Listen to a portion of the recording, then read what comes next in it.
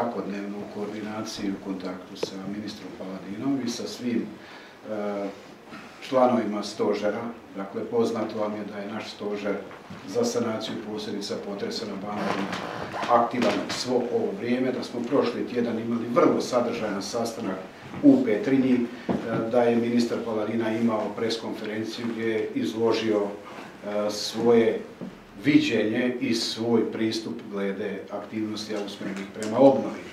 E, dakle, činjenica je da je veliki izazov pred ministrom Paladinom i e, ono što je iznio kao svoj pristup, e, kao resornog ministra, ja vjerujem da će realizirati. Više sam dakako upućeniji u aktivnosti na Banovini nego u Zagrebu. Za sve ono što je rekao na Banovini Uvjeren sam da će to biti realizirano. Isto tako vjerujem da će i e, one mjere koje je najavio za grad Zagreb biti implementirane. E, niz je pretpostavki za to učinjen.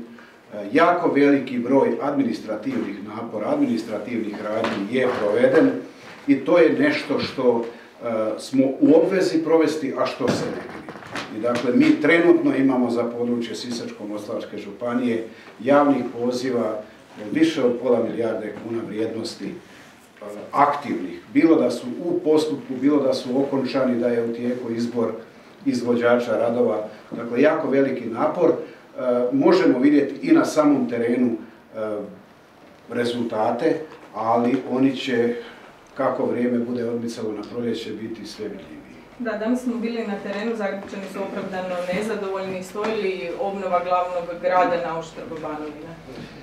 Pa mislim eh, da ne možemo eh, ni na koji način eh, dovoditi u vezu određenu dinamiku jednog i drugog procesa. Dakle, u biti za Republiku Hrvatsku i za našu vladu to je jedinstveni proces kad govorimo o obnovi.